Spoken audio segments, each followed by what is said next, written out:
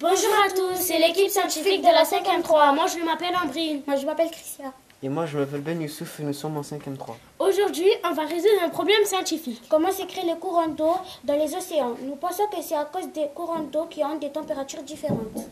En effet, voici l'océan Atlantique. On y voit des courants d'eau chauds qui sont dessinés par des flèches rouges et qui sont à la surface. Et aussi, on voit des courants d'eau froides qui sont dessinés par des flèches bleues et qui sont en profondeur.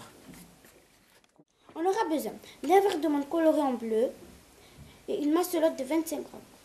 À l'intérieur, puis on a besoin d'un pic en bois et une bassine d'eau chaude. C'est parti pour l'expérience.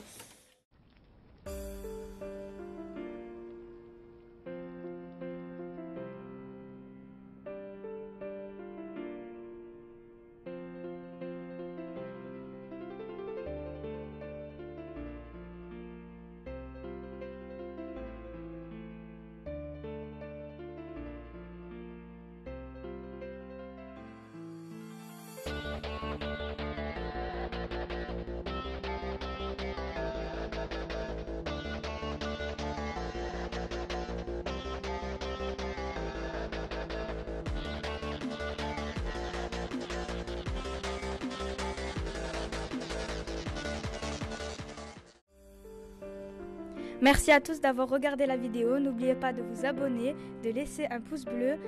Au revoir.